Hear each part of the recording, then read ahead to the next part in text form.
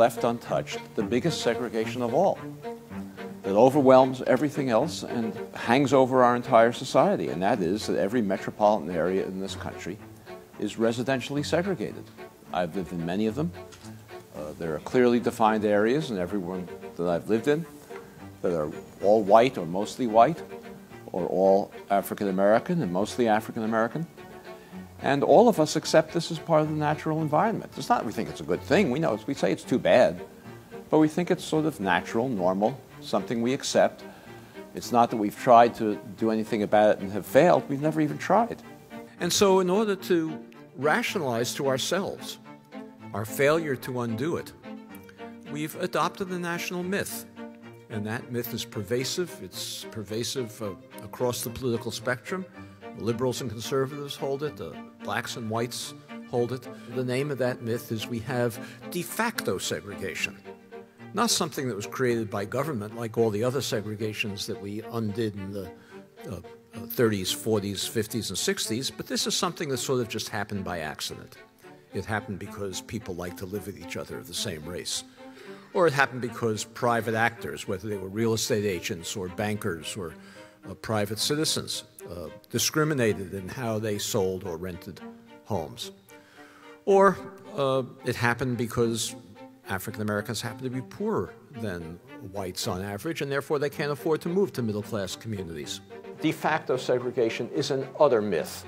There is no basis to it whatsoever. The racial segregation in every metropolitan area in this country was created by explicit, racially explicit government policy designed to create racial boundaries, designed to ensure that African Americans and whites could not live near one another, with policies that are so powerful that they still determine uh, the racial landscape that we see in cities all over the country. Just like we have the myth of de facto segregation, we also think we know what public housing is. It's a place where poor people live, where uh, lots of mothers with children, uh, single parents with children, uh, lots of young men without access to jobs in the formal economy, acting out, engaging in oppositional behavior that attracts attention to the police and a cycle of violence that we've seen in so many places. That's what we think of as public housing.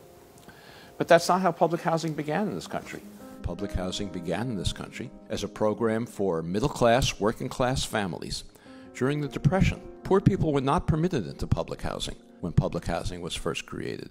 There was a housing shortage, and public housing was created for people who could afford to pay the full rent in housing, and they did in public housing, but for whom there was no housing available. Everywhere, the Public Works Administration and the other federal agencies that succeeded it created segregated public housing, separate projects for African Americans and whites, in cities all across the country, frequently segregating neighborhoods that hadn't previously been segregated, that were integrated. During World War II, the uh, actions of the government intensified to create segregation. Uh, they intensified because uh, throughout the country, hundreds of thousands of workers flocked to centers of defense production, of war production, to take jobs that hadn't existed uh, during the Depression. And the migration of workers into centers of defense production overwhelmed frequently the communities where they were working. The federal government had to build housing for these workers if wanted the ships to be produced. For the African Americans, they built the housing on the temporary housing because the explicit uh, goal of the housing was that African Americans after World War II would leave and go back to the South. So they built temporary housing for the African Americans along the railroad tracks and near the shipyards, and they built more stable housing for the white migrants in the white residential areas. Very soon after that, uh, now in the mid 1950s, a development occurred everywhere in the country, which was systematic, similar, uh, and widespread. And that was that suddenly all the white projects began to develop large numbers of vacancies. All the black projects began to develop long waiting lists. And soon the situation became so untenable, so conspicuous. You couldn't have projects in the same city, some of which were virtually empty, and the other of which had long waiting lists. The federal government um, and local housing agencies opened up all projects to African Americans. And then at about the same time, industry left the cities. Fewer and fewer jobs became available to now increasingly and soon almost all African American population in the public housing. The population could no longer afford to pay the full cost of its rent, so the government had to begin subsidizing public housing. Maintenance declined in the projects. Prior to this, maintenance workers lived in the projects. They were paid good salaries and lived in the projects. Upkeep declined. The projects became vertical slums that we came to associate with public housing today. Another federal program that was perhaps even more powerful in creating racial segregation, and that was a program of the Federal Housing Administration designed to move white families out of urban areas into single family homes in the suburbs. At a racially explicit basis, we created a white noose around every urban area with federally subsidized single family home subdivisions. These were giant subdivisions in many cases. The most famous of them, I'm sure you've heard of it, is Levittown, east of New York City. 17,000 homes in one place. What bank would be crazy enough to lend a developer the money to build 17,000 homes or 15,000 homes in one place for which he had no buyers? We were in a suburban country at that time.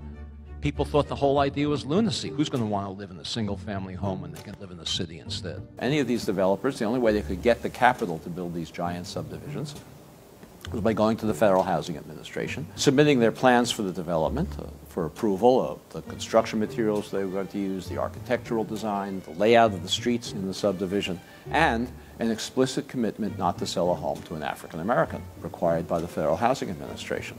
The Federal Housing Administration even required, as a condition of these guarantees, developers like Levitt to place a clause in the deed of every home prohibiting resale to African Americans or rental to African Americans.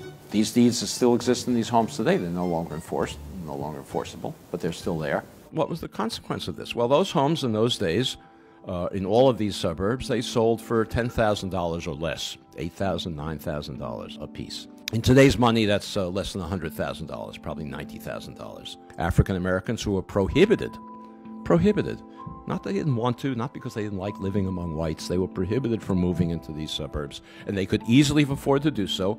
Any working class family can afford to buy a home for $90,000, roughly twice national median income. Those homes and developments like that now sell for $300,000, $400,000, $500,000 and more. The white families over the next couple of generations uh, gained, you can do the arithmetic, uh, 200, 300, 400, half a million dollars in equity. They used that equity to send their children to college, to take care of medical emergencies, to take care of economic downturns, um, most importantly, to bequeath it to their children, who then had down payments for their own homes. African Americans who accumulated none of that wealth as a result of this federal subsidy had none of those uh, abilities. Today, nationwide, African American incomes are on average about 60% of white incomes. African American wealth today is 10% of white wealth.